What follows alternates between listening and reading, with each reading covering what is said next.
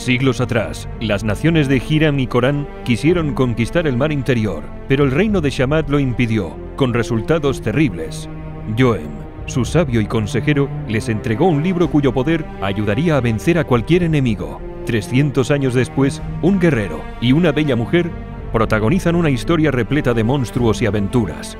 El secreto de Joem, de Rafa Osuna, disponible en donbook.com.